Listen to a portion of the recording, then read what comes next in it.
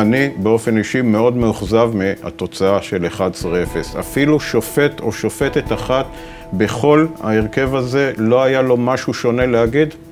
בעיניי זה, הייתי אומר, כמעט מעורר חשד, שהייתה איזו החלטה מוקדמת, שאנחנו נצטמצם להגדרה הכי מינימלית, הכי יבשה של החוק, לא נעסוק בשום דבר אחר מלבד, מלבד ההגדרה הזאת, ובשביל מה אנחנו צריכים באמת את הצרות האלה? בשביל מה אנחנו צריכים שיקומו עלינו, יתקפו אותנו, יגידו שהתערבנו בעניינים של הכנסת, בעניינים של הרשות המבצעת?